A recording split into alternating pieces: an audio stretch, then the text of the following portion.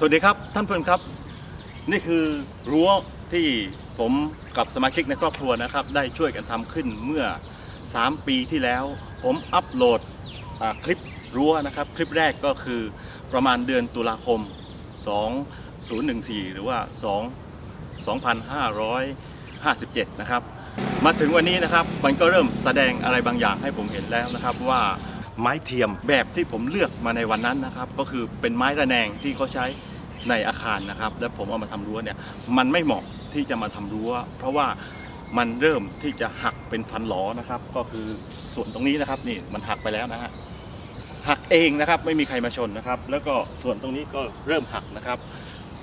คุณสมบัติของไม้เทียมนะครับ มีข้อเด่นมีข้อดีนะครับปลวกไม่กินนะครับ ไม่ผุหรือว่าผุกร่อนยากถ้าเทียบกับไม้ทั่วไป แล้วก็ราคาถูกนะครับ แต่ว่าข้อเสียก็มีข้อเสียก็คือว่ามันอมน้ำหมายความว่าเวลาฝนตกประจำนะครับ ตกบ่อยๆนะครับ ตัวมันก็ซึมซับน้ำเอาไว้ภายใน และมันก็สูญเสียความแข็งแรงนะครับทำให้ไม่นานก็เริ่มที่จะหักนะครับ ความคิดในวันนั้นก็ที่เอามาใช้ก็เพราะว่าราคาถูกนั่นเองนะครับ แผ่นหนึ่งเนี่ยประมาณ 30 กว่าบาท ผมเอามาตัดเป็น 3 ท่อนท่อนละ 1 เมตร นั่นก็คือต้นทุนแผ่นละ 10 กว่าบาทเท่านั้นเอง จริง ๆ แล้วเขามีไม้เทียมนะครับที่ออกแบบเอาไว้เป็นพิเศษสำหรับทำรั้วนะครับที่มีความแข็งแรงมีความหนา มีความแข็งแรงทนทานสูงนะครับ แต่ว่าราคาก็สูงตามนะครับ วันนี้นะครับผมจะซ่อมรั้วพวกนี้ ผมจะเปลี่ยนมาเป็นไม้ธรรมดาครับ ไม้เนื้ออ่อนทั่วๆไปที่มีราคาถูกนะครับ เพราะว่าผมได้อ่าซื้อมาก่อนหน้านี้แล้วนะครับ แล้วก็เอามาทำประตูนะครับ ก็พบว่าอันนี้ก็ 3 ปีเหมือนกันนะครับ ยังแข็งแรงยังอยู่ในสภาพดีนะครับ ยังไม่การไม่มีการผุก่อนและน่าจะอยู่ได้อีกพักใหญ่ ก็คิดว่าจะใช้ไม้ประเภทเดียวกันเนี่ยมาซ่อมรั้วนะครับ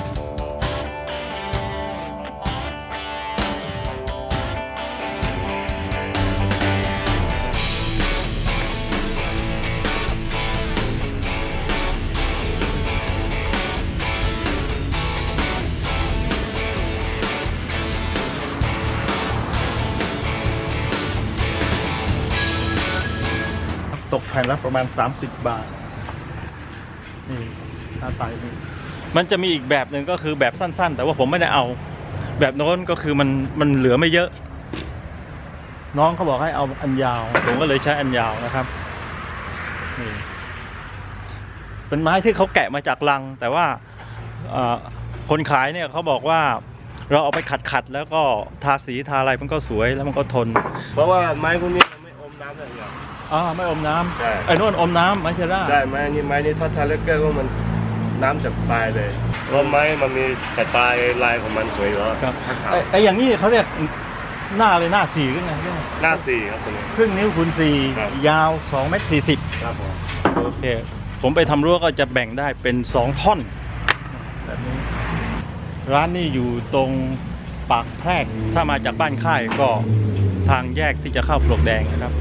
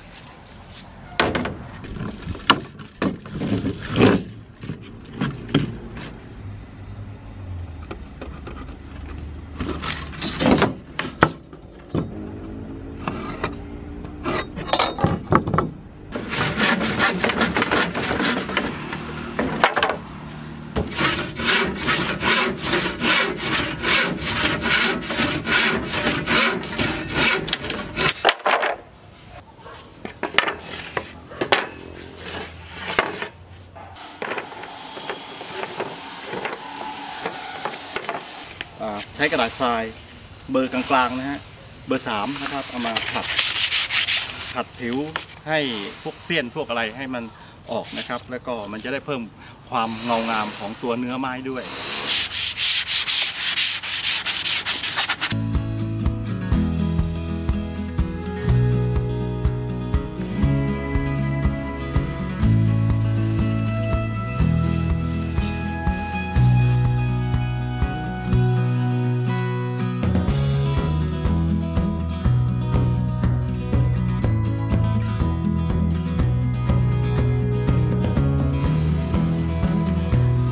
ท่านผู้ชมครับ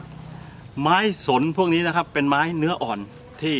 ผุพังได้ง่ายนะครับ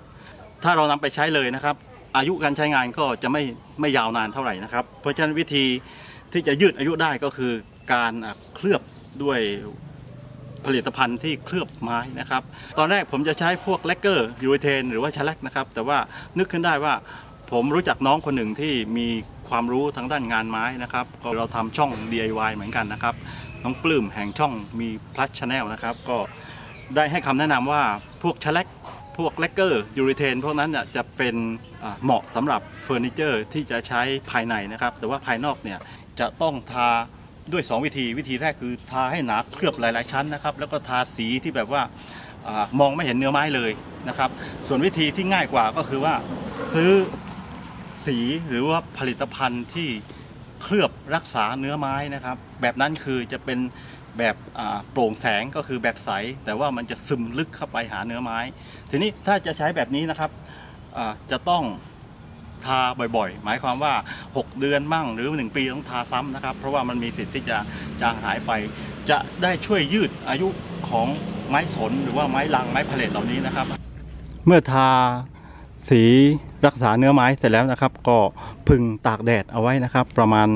1 ชั่วโมงนะครับ ถ้าแดดจัดๆนะครับ จากนั้นนะครับก็ทาซ้ำอีกรอบ แล้วก็พอเริ่มแห้งนะครับ จับได้นะครับ ก็นำเอาไปติดตั้งที่เสาได้เลย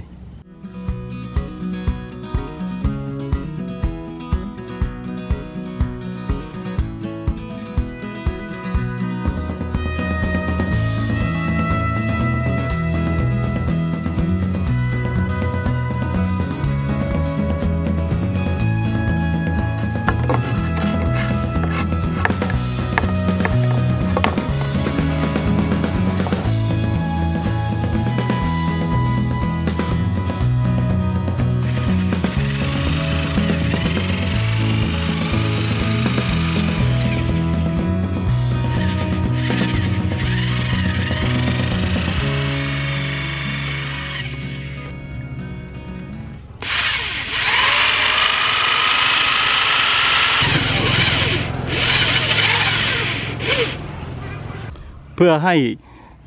ไม้นะครับทุกแผ่นมีความสูงที่เท่ากันหมดนะครับ ผมขึงเอ็นนะครับ หัวท้ายนะครับ เพื่อรักษาแนวนะครับ แล้วก็เวลาวางไม้นะครับ ก็วางไว้ให้ไม้สัมผัสกับสายเอ็นนะครับ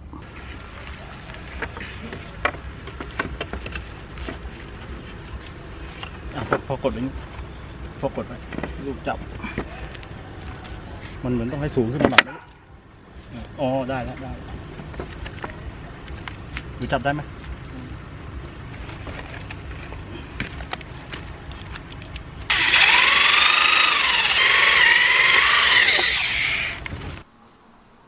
ในการยึด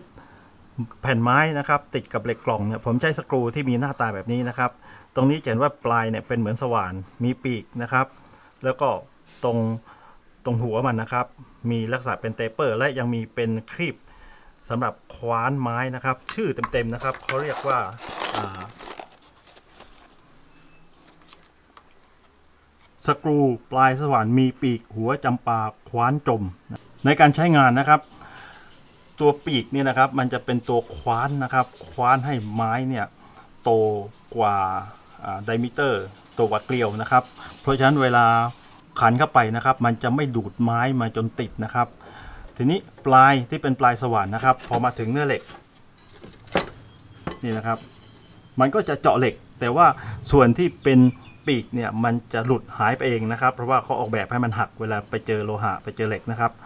ส่วนด้านบนนะครับที่เรียกว่า เป็นแบบเตเปอร์แล้วก็เป็นแบบจำปาเนี่ยก็เพราะว่ามันเวลาหมุนนะครับมันก็คว้านแล้วก็สามารถฝังหัวตัวมันเองนะครับ ให้อยู่ในระดับที่ไม่โผล่ขึ้นมาจากผิวบนของไม้นะครับ เราสามารถที่จะใช้สว่านนะครับ มาจับกับปลายที่เป็นปลายปลายไขควงนะครับทั่วไปนะครับ แล้วก็ขันได้เลยจบในทีเดียวนะครับ แต่ว่าสว่านที่ใช้จะต้องสามารถปรับความเร็วรอบแบบช้าๆนะครับ แล้วก็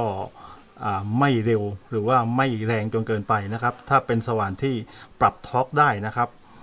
จะดีมากนะครับ เพราะว่าเวลาขันตึงมือมันจะหยุดหมุนนะครับ แต่ถ้าเป็นสว่านไฟฟ้าทั่วไปก็ต้องใช้รอบต่ำๆนะครับ ปัญหานะครับการแก้ปัญหาช่องไฟให้ลงตัวพอดีนะครับ คือจากเดิมนะครับที่ผมคำนวณเอาไว้เนี่ยแผ่นเนี่ยมัน10 11เซนนะครับ และถ้าผมใช้ช่องไฟ 7.5 นะครับ มันควรจะลงตัวพอดีนะครับ ซึ่ง 7.5 มันก็คือความหนาเอ่อความหน้ากว้างของตัวไม้เชอร่าเดิมนะครับ ก็คือนี่นะครับ มันก็จะประมาณนี้พอดีนะครับ ผมก็ใช้ตัวนี้มาทาบเป็นเป็นเหมือนกับเป็นกิ๊กนะครับทาบไปเรื่อยๆนะครับ แต่ว่าเราจะเจอปัญหานะครับว่า พออันสุดท้ายเนี่ยนะครับ มันจะมาเบียด เพราะอาจจะเกิดจากตัวไม้เองที่ว่าไม่ได้มีความกว้าง 7.5 เซนทุกตัวหรือเกิดจากเสาเองบางต้นนะครับ เวลาเวลาเราวัดแล้วนะครับ บางต้นอาจจะมีการบวกลบอยู่บ้างนะครับ เพราะฉะนั้นพอเอามาติดแผ่นไม้เข้าไปนะครับ มันจะเกิดช่องไฟที่ไม่สวยขึ้นมานะครับ ทีนี้ผมเอาใหม่นะครับ คุณผู้ชมแทนที่ผมจะคำนวณบวกลบคูณหารบนกระดาษนะครับ แล้วก็มานั่ง วัดไป ผมใช้วิธีเอาเป็นของจริงเลยครับ ก็คือผมจะเอาไม้นะครับมาวางเฉลี่ยเลยเฉลี่ยให้ได้เลยนะครับ จากนั้นนะครับก็มาจัดช่องไฟนะครับที่ที่กะเอาไว้นะครับ ก็คือประมาณ 7.5 เซนก่อนนะครับ ก็คือความความกว้างของแผ่นนี้นั่นเองนะฮะเนี่ย ตรงอื่นมันสวยอยู่แล้วนะครับ แต่พออันสุดท้ายนะครับ เจอว่ามันเหลือแค่ 6 อย่างเงี้ยนะครับ ก็ผมจะขยับมันใหม่นะครับ จากเดิมที่ช่องไฟทุกตัวเนี่ยเป็น 7.5 เนี่ยฮะผมจะขยับให้เหลือ 7.0 นะครับ อันนี้นะครับก็ให้เหลือ 7.0 นะฮะ 7.0 7.0 นะครับ ให้เหลือ ประมาณ 7.0 นะครับ และอันสุดท้ายนะครับ ก็ใกล้เคียงนะครับ ก็ประมาณ 7 พอดีนะครับจะเฉลี่ยนิดนึงฮะนี่ก็ทำให้ช่องไฟนะครับ ช่องไฟก็จะดูสวยงามเท่ากันนะครับ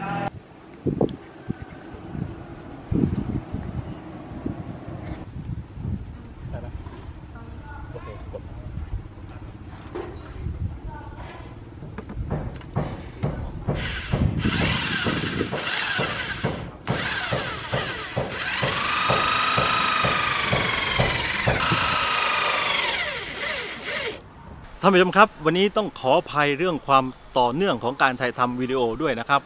ที่เห็นบางทีผมใส่เสื้อสีขาวบ้าง สีน้ำเงินบ้างนะครับ หรือว่าเสื้อแขนสั้นบ้างแขนยาวบ้างเนี่ย ก็เพราะว่าผมถ่ายทำคนละวัน ผมใช้เวลาทำรั้วนี่นะครับ ก็ประมาณ 4 อาทิตย์นะครับ ประมาณ 1 เดือนก็คือทำเฉพาะช่วงวันอาทิตย์ แล้วก็บางช่วงท่านเห็นว่าผมใช้เครื่องมือสลับไปสลับมานะครับ บางทีก็ใช้สว่านตัว เล็กสีแดงนะครับ แล้วก็เปลี่ยนเป็นสว่านสีน้ำเงินบ้างนะครับ ในตอนแรกนะครับผมก็กะว่าผมจะใช้แค่สว่านไร้สายนะครับสว่านที่เป็นแบตเตอรี่นะครับ แต่ว่าพอใช้ไปพักเดียวนะครับ แบตเตอรี่ก็หมด แล้วก็สว่านตัวที่ผมซื้อมาเนี่ยมีแบตเพียงก้อนเดียว ก็เลยเอาสว่านไฟฟ้านะครับที่เสียบปลั๊กไฟ 220 มาใช้ตัวสีแดงนะครับ แต่ว่าสว่านตัวแดงนี้ท่านผู้ชมคงทราบ ผมใช้มาหลายปีนะครับ หลังๆนี่มันจะมีอาการก็คือว่ามันจะเด้งกลับระหว่าง เจาะเหล็กกับเจาะปูน แต่ก็ใช้มาจนคุ้มแล้วนะครับ ก็เลยต้องใช้สว่านอีกตัวหนึ่งนะครับ ตัวสีเงิน อันนี้คือแกะกล่องเลยนะครับ เปิดซิงเลยตัวนี้ก็ดีหน่อยนะครับ คือวัดสูงกว่านะครับ แล้วก็มันมันปรับความเร็วรอบได้ค่อนข้างละเอียดกว่า แล้วก็มีตัว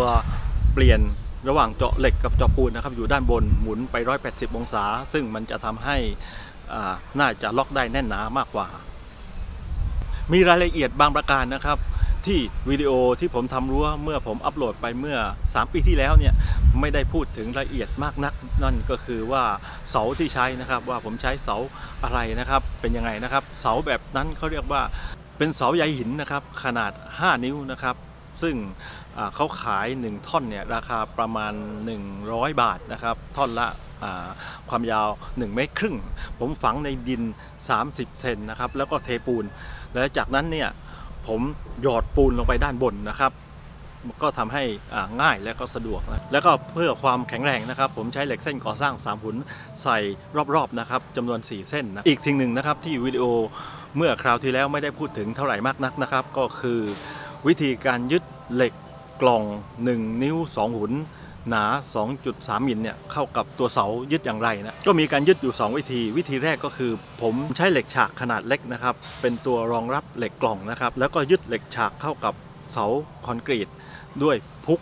ขนาด 6 มิลนะครับแต่ว่าพบว่าวิธีนี้เป็นวิธีที่ยุ่งยากและก็ไม่แข็งแรงเท่าไหร่นะครับ เพราะว่าการรับแรงทั้งหมดขึ้นอยู่กับพุก 6 มิลเพียง 2 ตัวเท่านั้นเองนะครับ ผมก็เลยเปลี่ยนวิธีเป็นวิธีที่ 2 คือการ ใช้เหล็กกล่องนะครับ ฝังเข้าไปในเสาเลยนะครับ วิธีการคือผมเจาะเสาเป็นรูปสี่เหลี่ยมก่อนนะครับ แล้วก็สกัดออกมา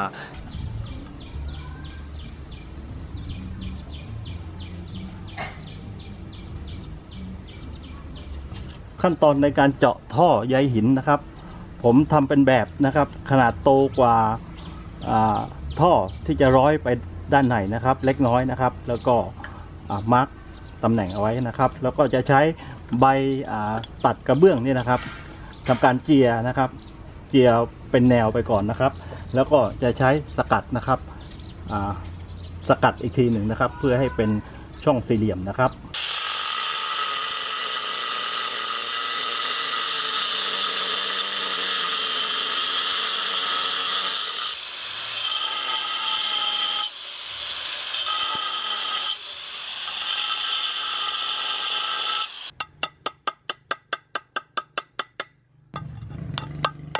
จากนั้นก็เทปูนลงไปจนถึงระดับรูนะครับแล้วแล้วก็สอดเหล็กกล่องเข้าไปนะครับ แล้วค่อยเทปูนขึ้นมาอีกที วิธีนี้นะครับก็เพราะว่า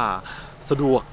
ง่ายนะครับ แล้วก็แข็งแรงอีกด้วยนะครับ เพราะว่าเหล็กกล่องนะครับ ฝังเข้าไปในเสาแทนที่จะยึดด้วยพุกเพียงแค่ 2 ตัวนะครับ ขอขอบคุณที่ติดตามรับชมสมชาย DIY นะครับถ้าหากว่าท่านมีคอมเมนต์มีข้อเสนอแนะประการใดนะครับ ก็เขียนตรงช่องความคิดเห็นใต้วิดีโอนะครับ และถ้าเห็นว่าวิดีโอนี้มีประโยชน์นะครับกับท่านอื่นนะครับ ก็อย่าลืมคลิกแชร์คลิกไลค์ด้วยนะครับ และพบกันใหม่ในสัปดาห์หน้านะครับ สวัสดีครับ